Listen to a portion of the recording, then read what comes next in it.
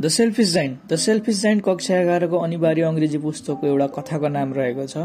र यस कथाका लेखक एक इरिस राइटर पोइट नोबेलिस्ट र प्ले राइट ओस्कार वेल्डी हुन्। यस कविताको मेन थिम भन्नुपर्दाखेरि चाहिँ हामीले कसैलाई पनि ट्रबल वा कसैलाई ब्याड गर्नु हुँदैन।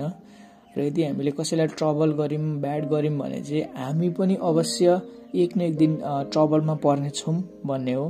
सो सबैलाई राम्रो गर्नुपर्छ भन्ने चाहिँ यस कथाको मेन मोरल रहेको छ मेन थिम रहेको छ। र कथामा जाँदाखेरि चाहिँ कथा कसरी सुरु हुन्छ भन्दाखेरि चाहिँ every afternoon as they were coming from school the children use to go and play in the giants garden giant भनेको चाहिँ एकदमै एउटा ठुलो मान्छे भनेर बताइएको छ। जहिले पनि जब दिउँसो हुन्छ आफ्टरनुन हुन्छ चिल्ड्रेन बच्चाहरू चाहिँ त्यो जाइन्टको गार्डन हुन्छ एउटा त्यो गार्डनमा चाहिँ खेल्न जाँदो रहेछन्। त्यो जुन जाइन्टको गार्डन थियो त्यो ठुलो मान्छेको गार्डन थियो। त्यो गार्डन चाहिँ एकदमै लभली एन्ड ब्युटिफुल थियो। त्यहाँ एकदमै हरियो घाँसहरू थियो। स्टार जस्तै चम्किला ब्युटिफुल फ्लावर्सहरू थिए। Twelve peaches tree that in the spring time broke out pink and pearl.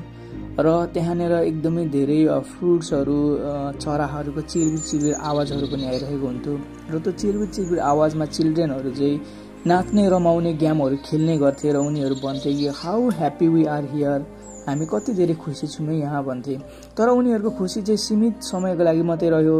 One day the giant came back त्यो ठुलो मान्छे चाहिँ आफ्नो घर फर्किए। उनी चाहिँ सात वर्षसम्म चाहिँ आफ्नो साथी कर्निस अग अर्गकोमा चाहिँ बस्न गएका थिए र सात वर्ष पछाडि आफ्नो गार्डनमा आएर हेर्दाखेरि चाहिँ चिल्ड्रेन बच्चाहरू चाहिँ खेलिरहेको देख्यौँ यो देखेर उनलाई एकदमै धेरै रिस उठ्यो किनभने आफ्नो गार्डनमा बच्चाहरूलाई देखे र उनी सेल्फिस पनि थिए सो एकदमै उनी रिसाए र सबै चिल्ड्रेनहरूलाई त्यहाँबाट धपाइदिए।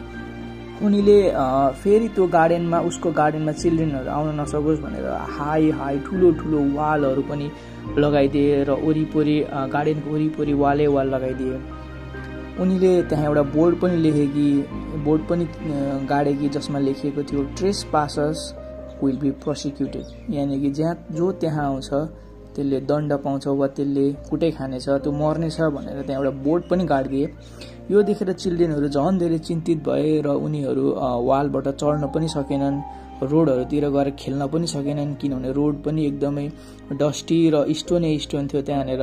सो चिल्ड्रेनहरू एकदमै जो पहिला रमाउँदै खेल्ने गर्थे गार्डनमा अहिले उनीहरू एकदमै दुखित अवस्थामा छन्।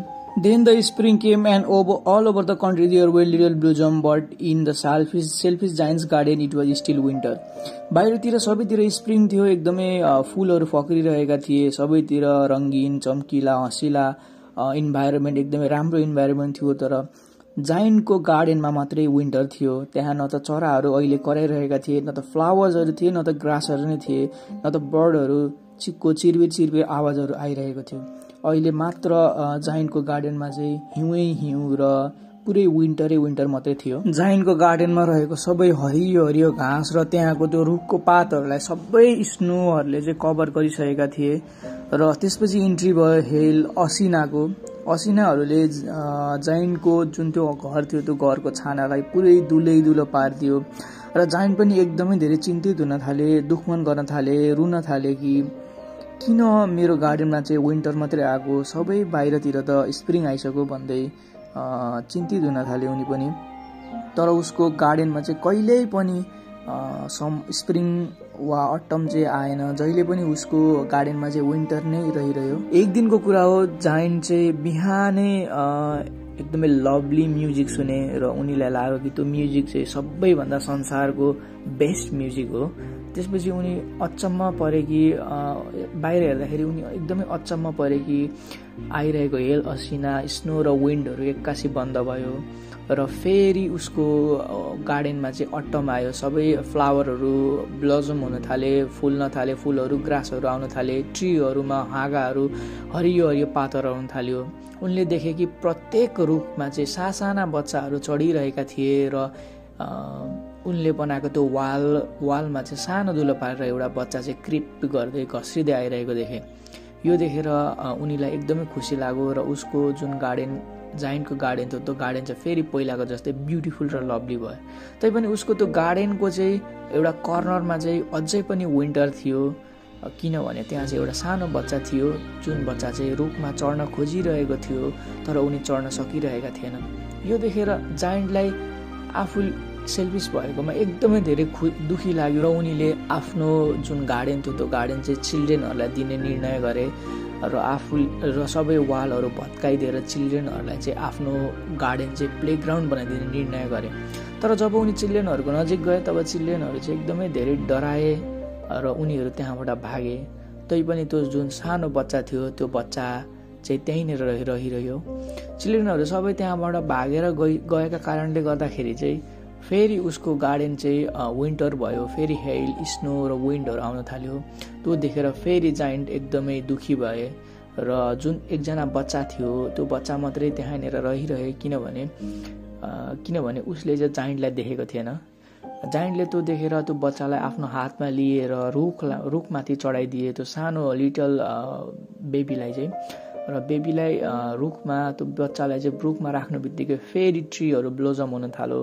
सबै पहिलाको जस्तै लभली गार्डन भयो ग्रासहरू आउन थाल्यो चराहरू चिरबिर चिरबिर गर्न थाल्यो र यसरी जाइन्टले चाहिँ चिल्ड्रेनहरूलाई पनि माया गरेको देखेर अरू चिल्ड्रेनहरू पनि फेरि आए र ट्रिजमा चाहिँ चढ्न थाले खेल्न थाले र उसको गार्डन चाहिँ फेरि पनि लभली र ब्युटिफुल गार्डन भयो। The little boy stretched out his two arms and flung them round the giant neck and kissed him त्यो सानो बोयले चाहिँ जाइन्टलाई किस पनि गरेका थिए सो त्यही भएर चाहिँ त्यो बोय चाहिँ त्यो लिटल बोय चाहिँ जाइन्टको लागि एकदमै स्पेसियल थियो।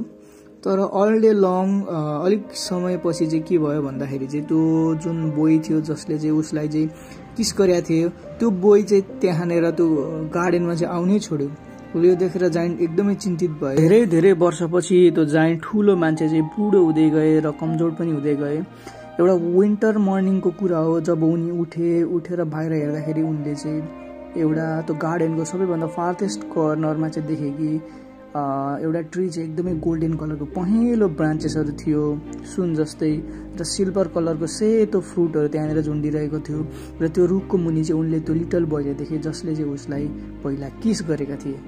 उनले त्यस लिटल बोयले देखेर एकदमै धेरै खुसी भए किनभने त्यो लिटल बोयलाई उनले धेरै वर्षपछि देखेका थिए। उनी हतार हतार त्यहाँ गए र जाँदाखेरि लिटल बोयको अनुहार चाहिँ एकदमै रातो थियो र एङ्गर थियो। उनीले सोधे कि के भयो? तिम्रो अनुहार त एकदमै रातो रातो छ तिमीलाई कसले कुट्यो भनेर सोध्छ। सोद्धाखेरि उनीले भन्छ होइन मलाई कसैले नै कुटेको होइन यो त वुन्स अफ लभ हो मायाको यो मायाले गरेर यो अनुहार रातो भएको मेरो भनेर भन्छ। जाइन्ट निल डाउन घुँडा टेकेर बस्छन् त्यो सानो बच्चाको अगाडि र सानो बच्चाले भन्छ you let me play once in your garden today you shall come with me to my garden which is paradise तिमीले मलाई तिम्रो गार्डनमा पहिला खेल्न दिएको थियो अब मेरो गार्डनमा आऊ। जुन चाहिँ प्याराडाइज हो भनेर भन्छ बच्चाले। र भोलिपल्ट चाहिँ अरू चिल्ड्रेनहरू बच्चाहरू त्यो गार्डनमा आउँदाखेरि त्यो चाहिँ ठुलो मान्छेलाई मरिरहेको देख्छ। र कथा समाप्त हुन्छ।